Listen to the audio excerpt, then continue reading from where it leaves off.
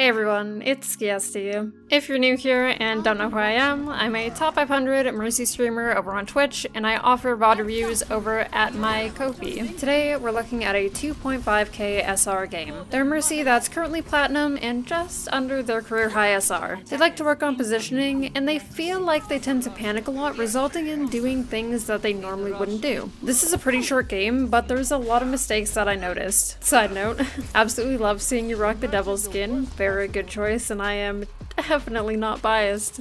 Uh-huh. Anyway, let's get into team composition. Since you have an Echo, she's going to be your default pocket and the person you're with the most.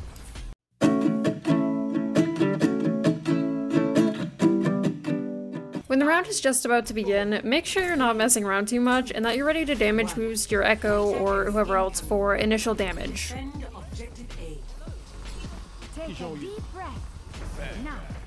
Try to be more aware of your max beam length to prevent beam disconnects. You can set up on the left side behind the wall instead of the right.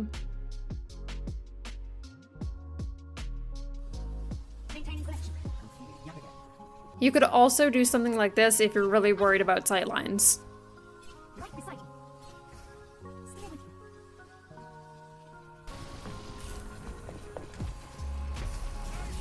There's no reason to leave your Echo here. I know you're worried about the Doomfist, I, I assume, but your team has Zarya Bubbles, Cass Stun, and Bap lamp, and his healing. Ryan's AFK. His death is not on you here. The res is too dangerous, and you should still be with Echo. You shouldn't even be trying to go for it. Guardian Angel is a bit scuffed here. I'd encourage you to look for a different target to GA to or be in a different position beforehand. This is an unnecessary super jump that leads to your death, unfortunately. Good to stop your GA before you went too far into the point, but be careful to stay in max beam range so you don't disconnect. This shit here is a little scary. GA to your Echo behind you, or slingshot past the Ana so you don't stop in the middle of the point. When your Rein is aggressing, it's okay to follow that aggression to keep him alive since you're the only healer right now, and again, be more mindful of staying in beam range. Rekko's in a dangerous place, so her death isn't really your fault as you can't really reach her without putting yourself in danger.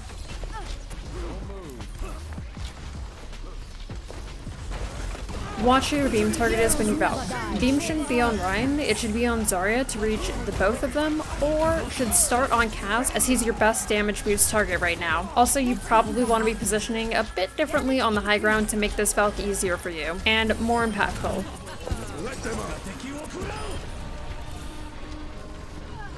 Here, you should probably be with your Cassidy now. This movement is a bit odd. There's no reason to leave your Cass and go to Bap. This res is absolutely terrifying because you know that the Hanzo is in that underneath room because of his earlier dragon, as well as Ash being down main and still having a clearer sight line, so watch for potentially really dangerous reses like that.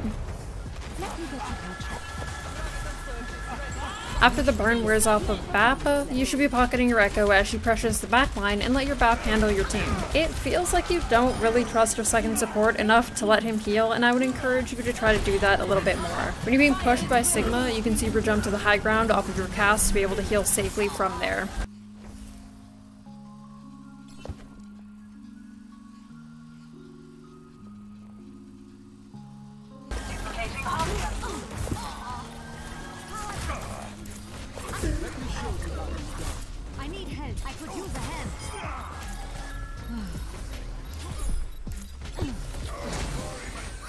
When you super jump off of the Rein, commit to super jumping to the high ground where Cass is. You can pocket and contribute from there and be safe instead of moving to the back of point where Hog is.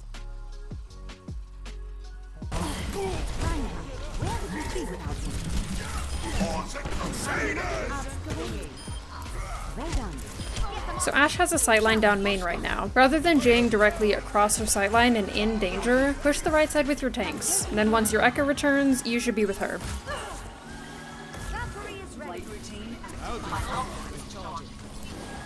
When your Echo goes up like this, it's okay to follow her earlier. You have your BAP to GA back to if things get dicey and you decide you're you want to dip.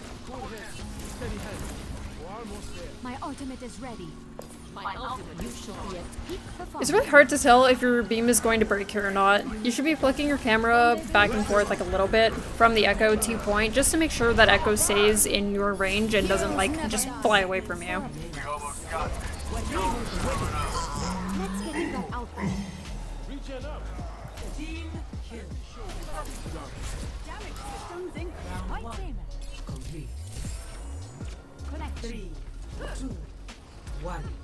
Attackers incoming.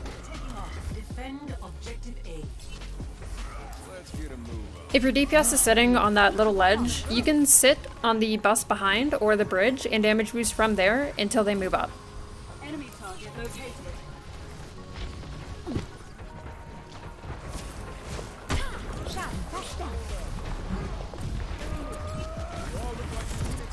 Be careful following Echo out because Sigma is right there. You can stay inside the doorway a bit longer. This rest is really dangerous since their tanks are like right there. You probably don't even need this rest to be able to cap if you just prioritize the teammates that are alive anyway. You lose line of sight on your tanks when you're trying to keep them alive, which is really bad. You should be able to just drop off the right side and land in the same spot you do without waiting to G to your Reinhardt.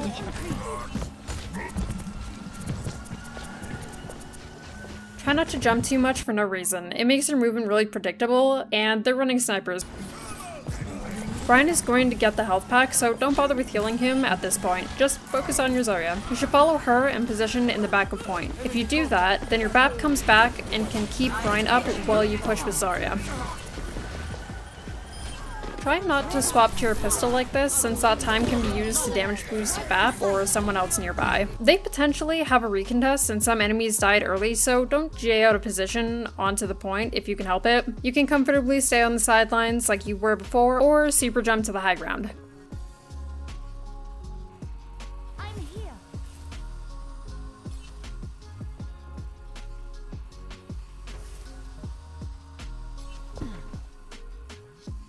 And that'll be it for this VOD review.